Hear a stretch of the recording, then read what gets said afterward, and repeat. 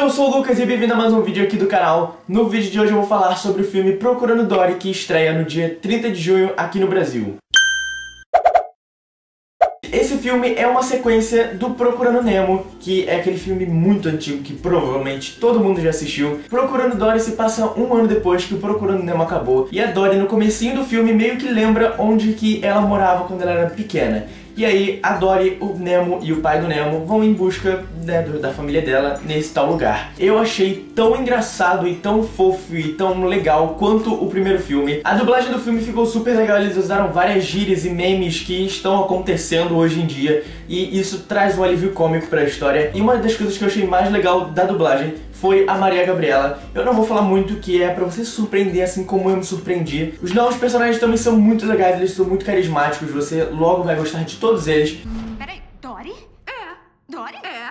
Éramos amigas! Não. Era tão divertido porque eu contava uma história e você esquecia totalmente dela. Aí eu contava de novo várias e várias vezes. A única coisa que eu não curti de verdade foi que em um momento eles acabam entrando dentro de um instituto da marinha que eles cuidam de animais do oceano e eles acabam dando uma romantizada, digamos assim. Eles deram a entender de que os peixes ficarem dentro de jaulas, ou enfim, jaulas não, é porque peixe não fica dentro de jaula, dentro de aquários ou coisas do tipo, é uma parada legal. Meio que deu a entender de que os peixes queriam estar ali. Porque hoje em dia tá todo mundo indo contra esse tipo de coisa, indo contra zoológicos, indo contra os parques tipo SeaWorld, que né, maltrata os animais, essas coisas desse tipo. Eles falam isso num filme que vai ser tão famoso, que vai ter tanta repercussão eu achei que foi um erro. Só que mais pro final do filme eles acabam meio que mostrando que o mar também é legal, blá blá blá. Só que em momento algum eles mostraram que é ruim você estar ali dentro de um aquário. Isso meio que deu a entender de que é sim legal você ir lá no parque em que o bicho foi tirado do oceano, ou foi tirado da selva,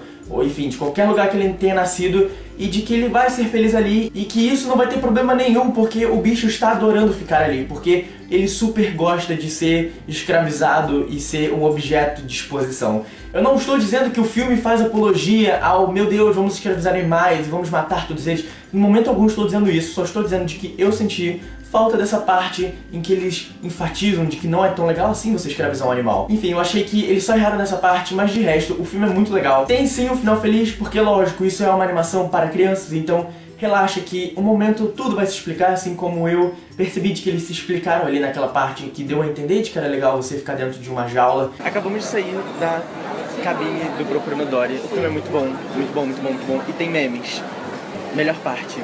Cara, se você gostou do 1, assista esse. Sim. Porque é sensacional. Eu achei que tá no mesmo nível. Tipo, é muito bom e muito engraçado. É. Achei igual. Ele já não. No mesmo nível, mesmo nível do primeiro não tá. Mas enfim, o filme é muito bom. Assistam, vai sair semana que vem, dia 30. E é isso. O filme é muito legal, vale muito a pena você assistir. Mas é isso, se você gostou do vídeo, deixa um joinha aqui embaixo, se inscreva aqui no canal se você ainda não é inscrito. Me siga nas redes sociais, são todas estante quadrada. Me deixa aqui nos comentários o que, que você achou do filme ou quais são as suas expectativas, caso você ainda não tenha visto. E é isso, nos vemos no próximo vídeo. Tchau!